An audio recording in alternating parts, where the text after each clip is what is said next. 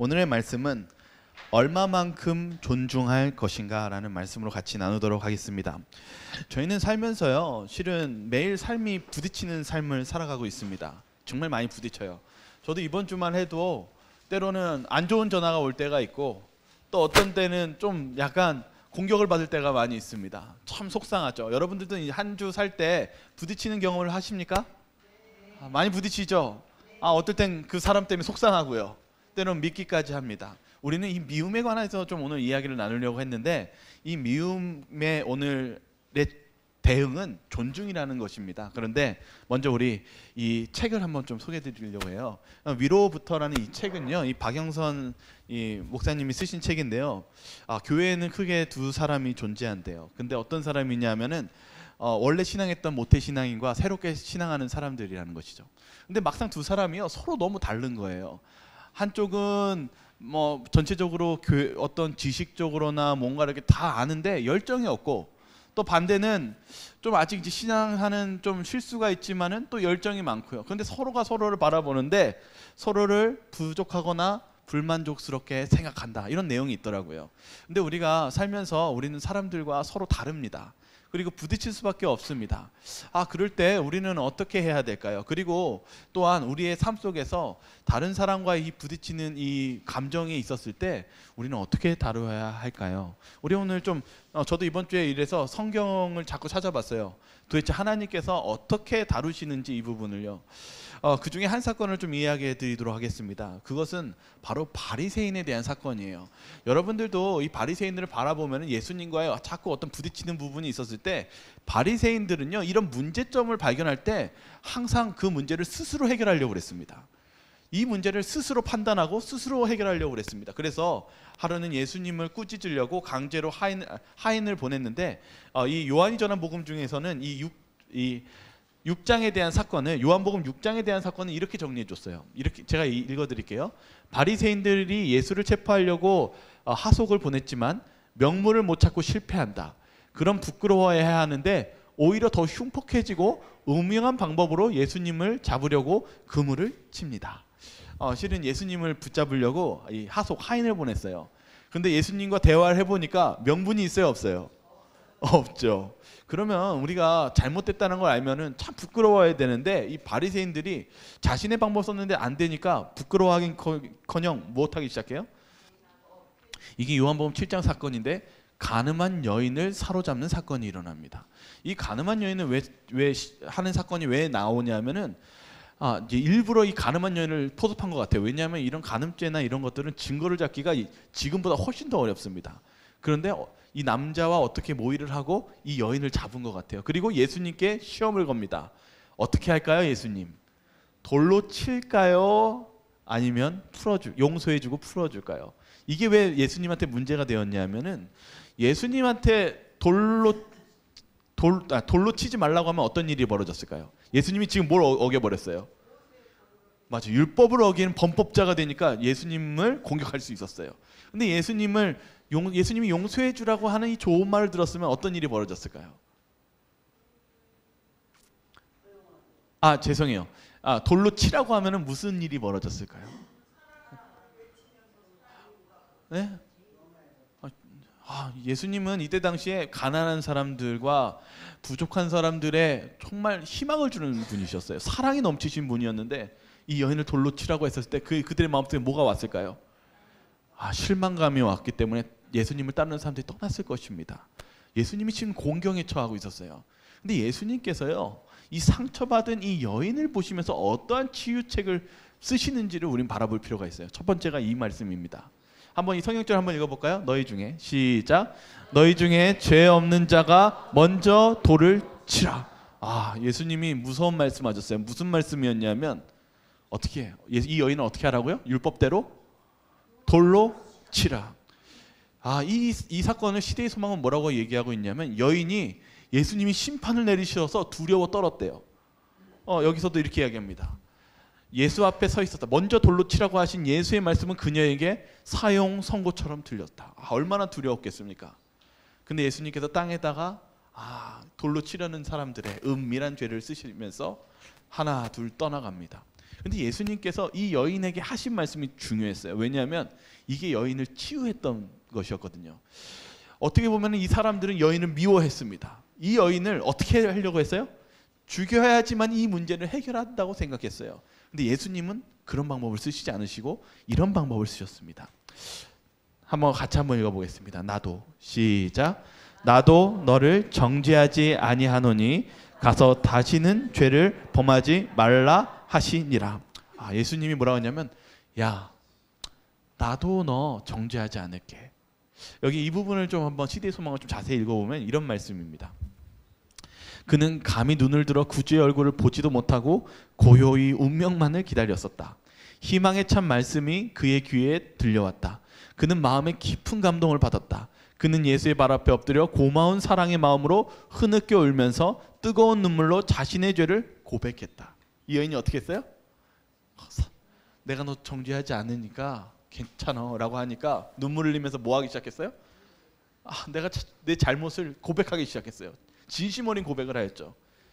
그때 어떤 일이 벌어지냐면 이것은 그에게 순결과 평화의 생애, 하나님께 봉사하기 위하여 바쳐진 새 생애의 시작이 되었다. 새로운 인생이 시작되었습니다. 그리고 영적 질병이 고쳐졌다. 이 회개한 여인은 예수를 가장 신실히 따른 사람들 중에 하나가 되었다. 여러분 마리아에 대한 이야기입니다. 얼- 이 사건 때문에 이 마리아가 어떠한 사람이 되었어요? 예수님을 신실히 따르는 한 사람 중에 그 사람 한 사람이 되었다는 사실입니다. 예수님의 치유는 얼마나 놀라운지 모르겠습니다. 오늘 저 오늘 우리가 어 말씀 우리가 배워야 되는 것은 바로 예수님이 첫 번째는 치유자이신 이유입니다. 어, 예수님은 우리의 참된 치유자이실까요? 이 부분에 대해서 어, 여기 마가복음 2장 8절과 9절에 바로 이 서기관들과에 대한 사건이 일어납니다.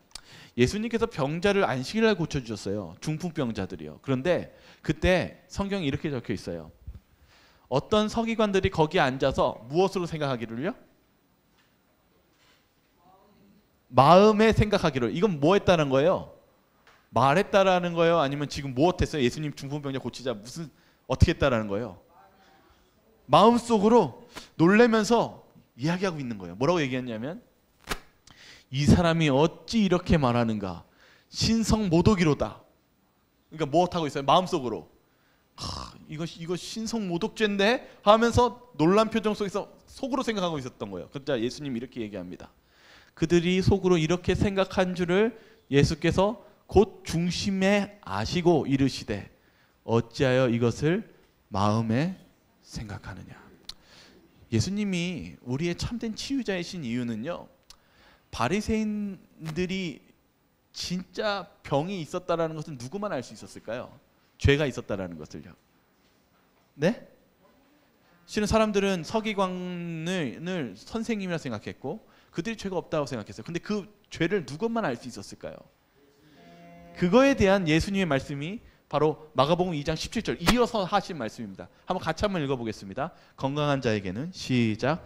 건강한 자에게는 의사가 쓸데없고 병든 자에게라야 쓸데있느니라.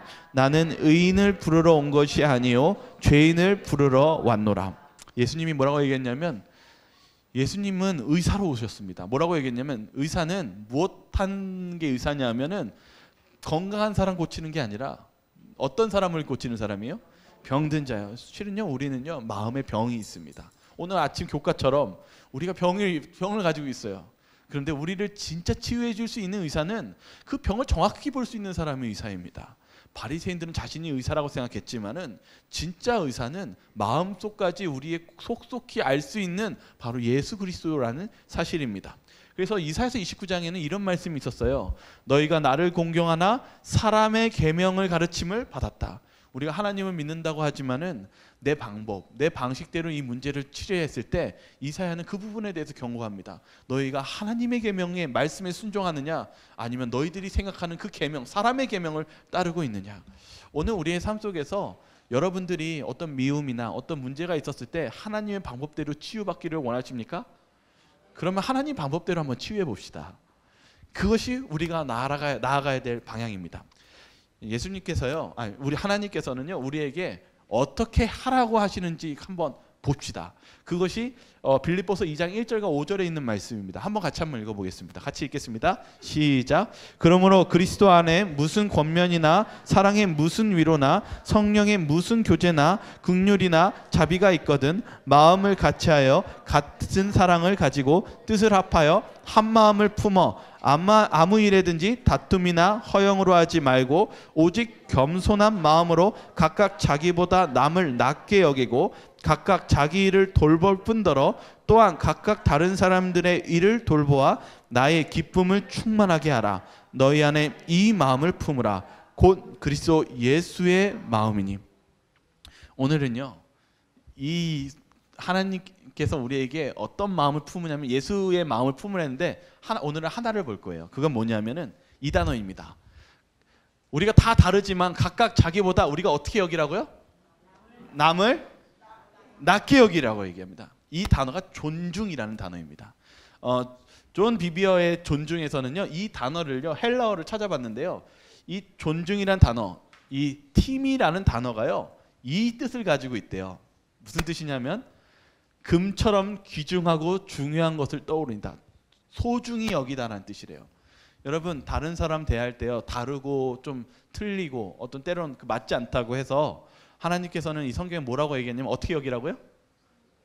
성경은 나보다 남을 낮게 여기고 이 본래 뜻은 뭐냐면 금처럼 소중히 여기다라는 거예요. 어떻게 여기라고요? 예, 오늘 그래서 이 이야기를 하려고 합니다. 얼마만큼 사람을 소중히 여겨야 할까요? 이게 오늘 주제입니다. 우리가 어떤 마- 사람과의 부딪힘과 미움이 생길 때 왜 하나님께서는 우리를 소중 존중하고 그 사람을 소중히 여기라고 얘기할까요? 소중히 여기지 않는 거에 반대말이 또 있어요. 뭐냐면은 아, 아티미안한 뜻인데 존경하거나 중요시 중요시하지 않는 것처럼 천하게 취급한다. 이게 반대말입니다.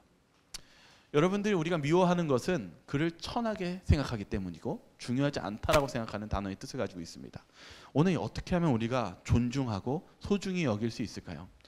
어, 한 동영상 보여드릴게요. 왜냐하면 일단 여러분들이요, 어, 우리가 다른 사람과 맞지 않거나 우리가 그럴 때에는 그 사람을 뭔가 바꾸는 게 아니라 어쩌면 하나님이 그 존중하고 그런 것이 어떠한 효과가 있는지 한번 이번 주에 방송한 내용인데요. 한번 보시고 어떤 느낌인지 한번 나눠 주- 주시면 좋겠습니다.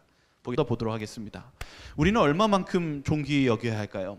그 사건이 우리가 이해를 도와주는 게 바로 다윗에 대한 사건입니다. 다윗이요 얼마나 미움을 누구한테 받았냐면 사울한테 받았어요. 얼마나 화가 났느냐면 사울이 자꾸 죽이려고 하니까요.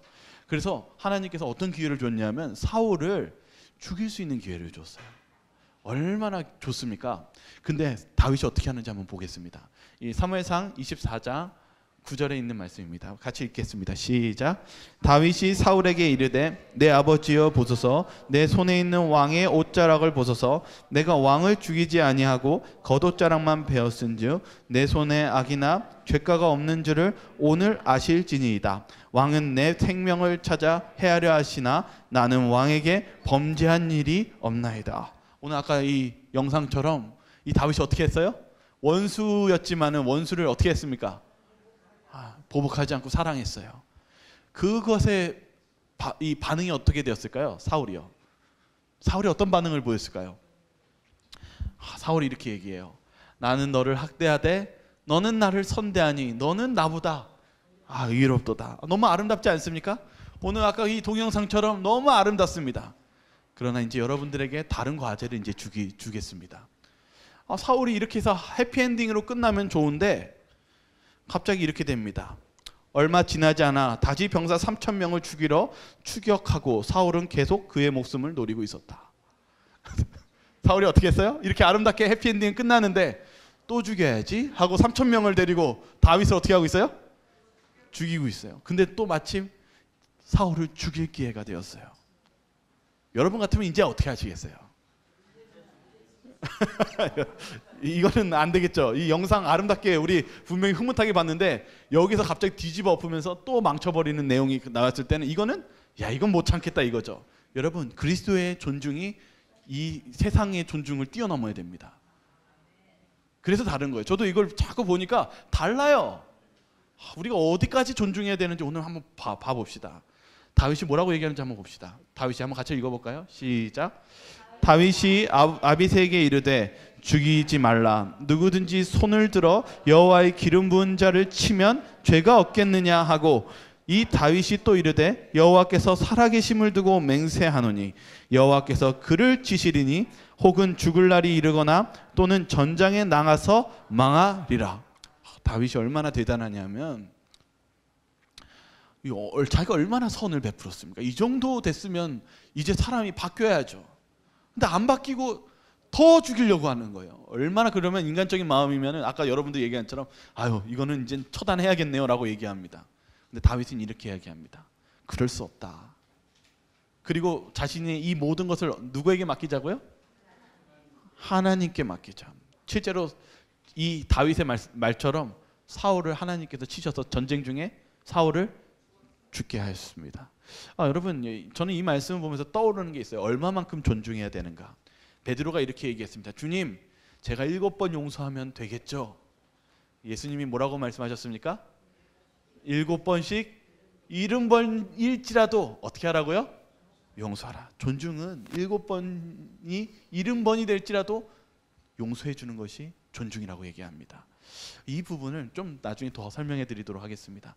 여러분 우리가 이렇게 바라보면서 아, 이 모든 우리가 어떤 마음의 미움이 생겼을 때 여러분 우리가 해야 될 일이 있습니다. 그것은 무엇이냐면은 주님께 맡기는 것입니다. 어, 바- 다윗이 한 것은 이 어려움과 때론 불공평한 일이 있었을 때 이 모든 것을 공의롭게 보시고 우리의 마음을 심중에 꿰뚫어 보실 수 있는 하나님이 계시다는 사실입니다. 어, 우리 이 증언보감 상권에 있는 이 부분을 한번 읽도록 하겠습니다. 믿음을 가지고 일하며 같이 읽겠습니다. 시작. 믿음을 가지고 일하며 결과는 하나님께 맡기라. 믿음으로 기도하라. 그러면 그분의 오묘하신 섭리에서 대답을 얻게 될 것이다. 때로 그대가 성공할 수 없는 듯이 보일 때도 있을 것이다. 그러나 믿음과 소망과 용기를 가지고 노력하면서 일하고 믿음이라. 그대가 최선을 다한 후에 주님의 신실하심을 주장하며 주님을 기다리라. 그리하면 그분께서는 당신의 말씀을 이루실 것이다. 초조해하며 근심스러운 마음을 가질 것이 아니라 담대한 믿음과 흔들리지 않는 신뢰심을 가지고 기다리라. 저는 이- 저도 이렇게 한 주 살면서 때론 공격과 상처가 있- 오는 말들이 오고 갈 때가 있습니다. 때론 제 마음속에서도 와, 이 흔들림이 올 때가 있어요. 그때 여러분 일하시기 바랍니다. 저는 오히려 어떻게 더 선교를 할까에 집중합니다. 오늘 이 말씀처럼 뭐라고 하냐면 믿음과 소망과 용기를 가지고 노력하면서 일하라고 얘기합니다. 왜냐하면 하나님께서 나머지는 하나님께서 담당하시고 심판하실 것이기 때문입니다. 여러분, 그 혹시 어려운 일이나 억울한 일 있으면 주님께 맡기시기 바랍니다. 주님이 다 보시고 적당한 때에 모든 것을 하나님께서 다 알아서 해주실 것입니다. 우리가 하는 것, 할 일은 하나님이 맡기신 사명을 전진하는 것입니다. 달리는 것입니다. 그래서 오늘 여, 저와 여러분들이 하나님께 순종하며 그분의 일에 집중하시면서 나아가시기를 바라겠습니다. 어, 그렇다고 여기서 끝난 건 아닙니다. 어, 우리가 여기서는 바로 어, 주님께 맡기며 나아가야 되지만 더 다시금 이 존중에 대해서 또 다시 보도록 하겠습니다. 하나님께서는요 우리에게 존중에 대해서 최종 목적지에 대해서 이렇게 얘기하셨습니다. 어떤 것이었냐면 어떻게 우리는 사랑해야 되는지 마가복음 12장 31절 읽어보겠습니다. 둘째는 이것이니 같이 읽겠습니다. 시작. 둘째는 이것이니 내 이웃을 내 자신과 같이 사랑하라 하신 것이라. 이보다 더 큰 계명이 없느니라. 하나님께서는 사람 존중을 했을 때 이 존중이 어떠한 존중인지를 이렇게 묘사, 묘사, 모, 묘사하셨습니다. 어떻게 사랑하래요? 사랑할 거면 누구 같이 사랑하라고요?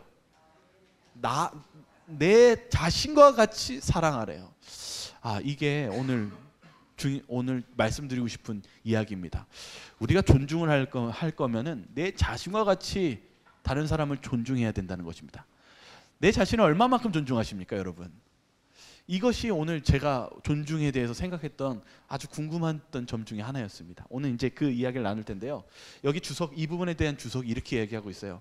통상적으로 사람은 자신을 위해 산다. 만약 우리가 감정을 상하지 않고도 이웃에게 어떤 선을 행할 수 있다면 그것을 받아들일 것이다. 이웃을 위한 대부분의 사랑은 계몽된 이기심에 불과하다.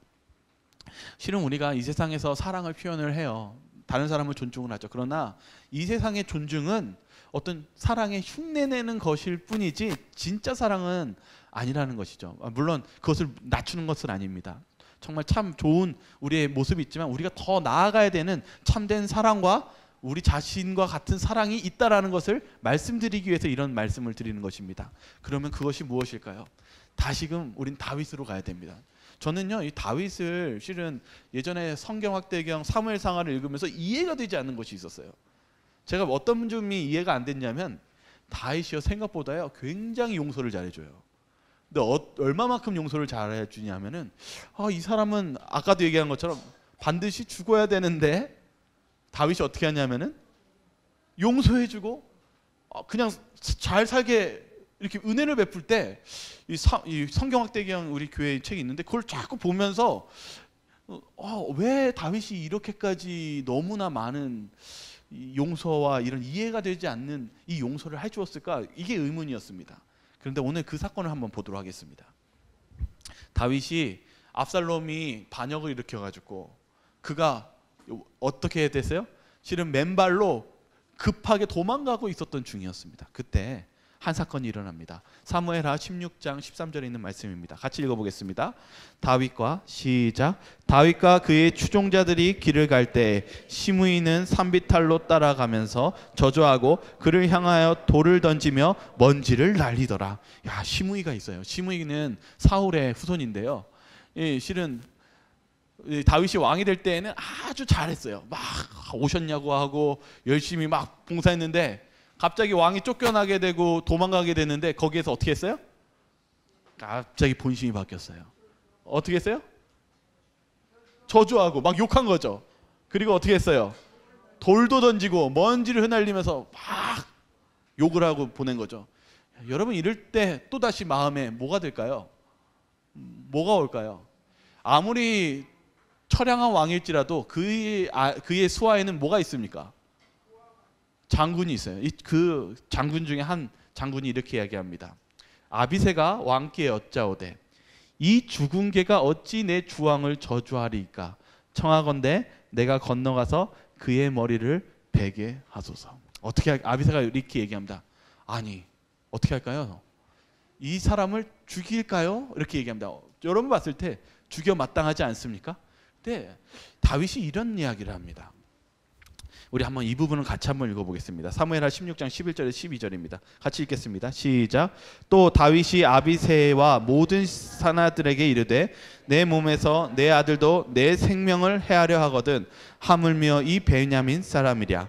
여호와께서 그에게 명령하시는 것이니 그가 저주하게 내버려두라. 혹시 여호와께서 나의 원통함을 감찰하시리니 오늘 그 저주 때문에 여호와께서 선으로 내게 갚아 주시리라 하고 다윗이 이상한 말을 합니다. 여기 실은 이 처음에 했던 내용하고 용서하고 두이 이 시무했던 용서는 달라요. 뭐냐면 시무이가 뭐라고 아니, 다윗이 뭐라고 하냐면은 내버려 두라고 얘기해요. 요, 그리고 용서해 주라고 얘기하고 그를 존중해 주라고 합니다. 뭐 때문에 존중하라고 그래요? 뭐라고 얘기합니까? 이 시므이가 시므의 죄에 대해서 얘기하지 않아요. 오히려 시므에 대한 죄에 대해서 얘기하지 않고 뭐라고 하냐면 자신의 죄를 꺼내기 시작합니다. 이, 이 다윗이 뭐라고 얘기하냐면은 내, 내 몸에서 난 아들도 내 생명을 해하려 하거든 하무며 이 베냐민 사람이랴. 여호와께서 그에게 명령하신 것이니 그가 저주하게 머려둬라. 이거는 하나님께서 나에게 내리는 벌이라고 생각하고 난 그렇게 받아들이겠으니까 그를 내버려두라고 얘기합니다. 그는요 그 사람이 잘못한 것을 바라볼 때 누구의 죄를 바라봤어요? 다윗이 누구의 죄를 바라보기 시작했어요? 아, 다윗이 괴로워하면서 예전에 했던 바세바를 범했던 죄 그리고 그 나단한테 그 사람은 죽어야 된다고 얘기했었을 때 아, 그게 그 죄를 반드시 죽어야 될 사람이 바로 누구였어요? 다윗 자기 자신이었어요. 그러면서 하나님께 회개했던 그 장면들이 떠오르면서 그가 이런 그의 마음속에 이런 고백이 들어 나옵니다. 이 부조화 선지자인데요. 너무 중요해서 제가 좀 요약했지만은 한번 좀 같이 한번 읽어보겠습니다. 그는 같이 읽겠습니다. 시작. 그는 하나님께서 자기의 죄를 그처럼 오래 참으시고 마땅히 받아야 할 보응을 내리시지 않고 지체하시는 데 대해 이상히 여겼었다.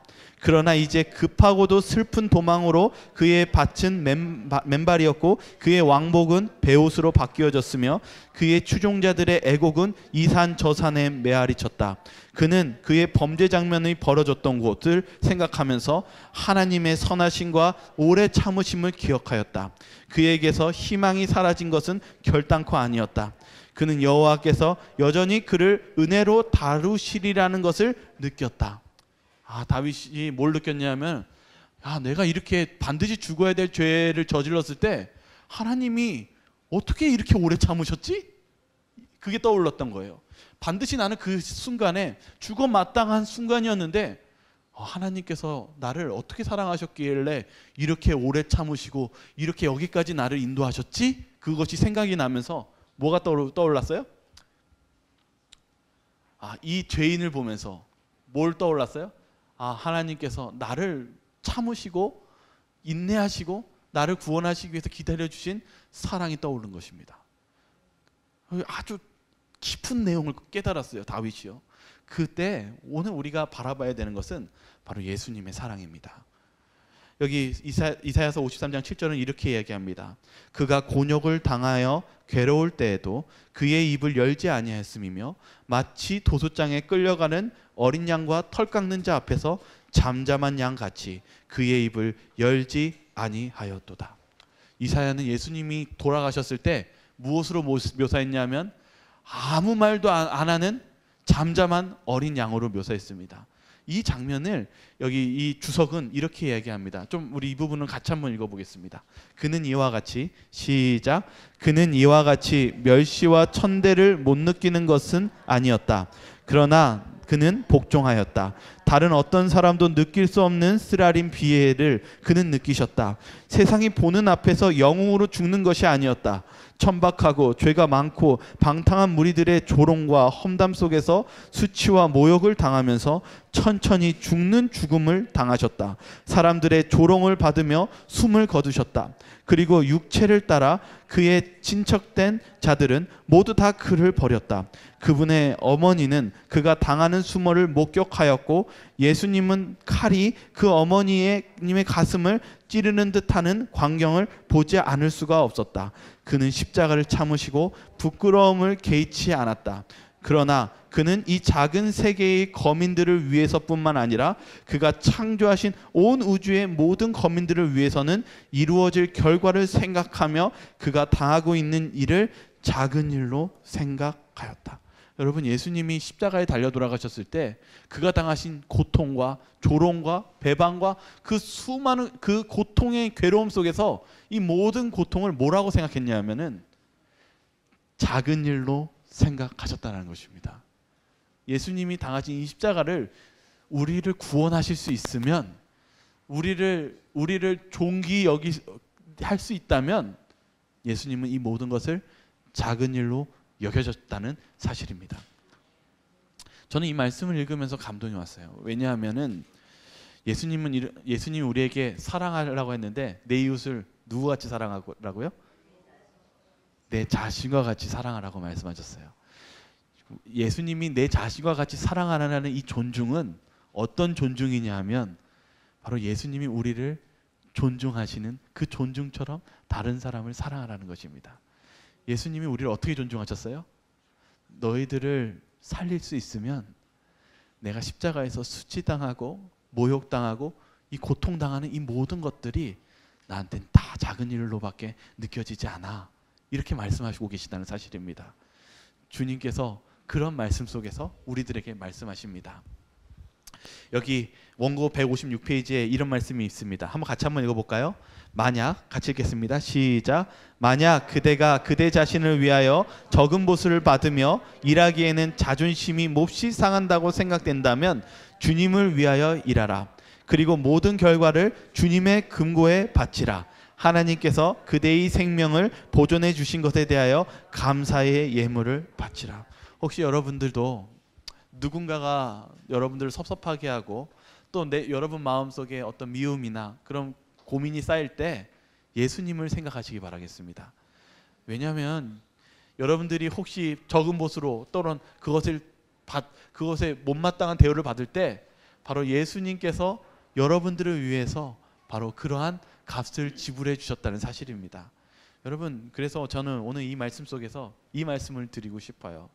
여러분 예수님이요 여러분을 너무나 존중하셔서 여러분들을 위해서 십자가에 달려 돌아가셨습니다. 그래서 예수님이 이렇게 말씀하셨어요. 내가 너희를 서로 너희를 사랑한 것 같이 서로 사랑하라.